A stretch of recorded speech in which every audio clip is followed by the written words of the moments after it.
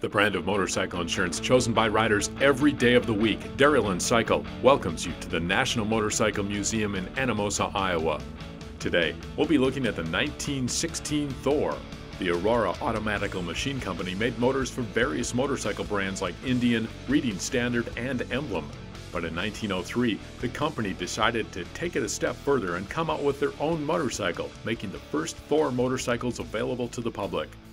Meticulous craftsmanship and quality materials went into each of these motorcycles.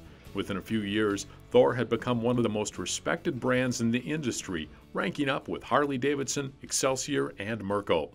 However, like hundreds of other American motorcycle manufacturers, Thor ceased production in the post World War I years.